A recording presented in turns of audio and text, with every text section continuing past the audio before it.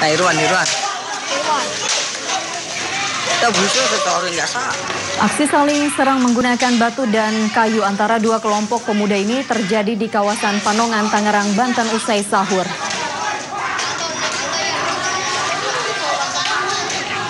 Ironisnya tawuran ini terjadi lantaran saling ejek, di mana salah satu kelompok pemuda yang nongkrong usai sahur diejek dan diserang petasan pemuda lain.